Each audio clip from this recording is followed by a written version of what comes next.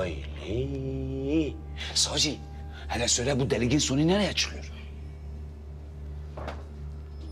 Sakın gelmeyin. Tünelin bu ucu bombok bir yere çıktı.